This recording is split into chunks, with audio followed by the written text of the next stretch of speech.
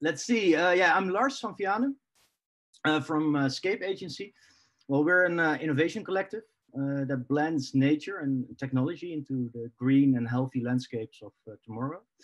Um, and we, we see a future in which all those green or gray objects along the tracks are transformed into green and healthy infrastructures. So also because those people in the in the trains actually enjoy the journeys through uh, the landscape most.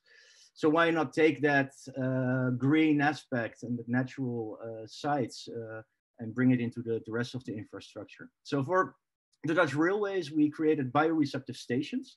That's an infrastructure that uh, attracts the growth of organisms such as mosses and, and algae. And these natural ecosystems um, also absorb a lot of CO2, smog and nitrogen, um, and thus create a healthy experience for uh, tomorrow's uh, travelers. Well, next to that, uh, they also absorb uh, sound pollution, for example, and well, we, because we design with growth, um, we also um, sort of delimit the cost of maintenance, and of course create an infrastructure for uh, animals uh, as well. Um, so in order to do this, we looked at nature itself, uh, mimicking the geometry of trees uh, into shapes that uh, allow uh, for shadow, so the mosses have a, have a nice place to grow. Um, but we also took a circular approach to producing them. So what we did is took those uh, railway sleepers underneath the tracks and recycled them into a new product. And um, I maybe cheated a little bit. Um, I had three slides, but I uh, wanted to show you these images. Um, the way we do this, the way we work on such an idea is, well, we first bring it into our lab. Um, and we start experimenting with, well, both the organisms uh, as with the materials we uh, develop. Um, and this is maybe strange for designers that normally sit behind computers. Um, but we of course still use them. We, we use computers uh, or parametric design to bring all those ingredients from nature and material science together into something we'd like to call our spaghetti.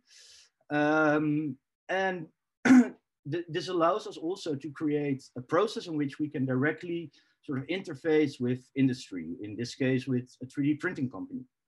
Um, now, together with that company, we um, developed uh, 3D molds out of recycled plastic. Um, and these molds are not only allowing us to make sort of intricate and bespoke um, forms, but are also highly durable and reusable. Uh, so you can reuse them, uh, them, up to 10 times more than uh, traditional timber molds. Um, no, using these molds, um, we casted um, uh, the recycled concrete, or at least 75% of it.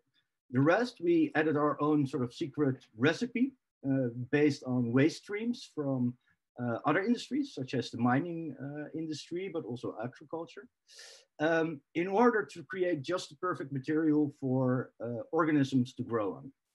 Um, and in the end, uh, this, this is what uh, we created, our first sort of set of prototypes, which we, of course, would have loved to show at the Dutch Design Week. But now, actually, uh, there might be a chance that we'll install it next to the railways in the coming uh, coming weeks. And these um, um, these sort of icons for uh, the Dutch railways of tomorrow um, will start to attract and grow green over uh, over the next uh, over the months after they are installed. Um, and um, of course, we want to create impact. So the the more scalable and the more um, places we can install this, the better.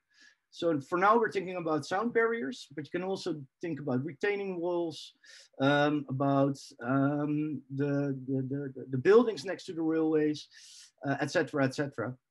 Et um, and uh, well, with you, uh, we'd also love to discover um, well new applications and collaborations, of course. So yeah, thanks.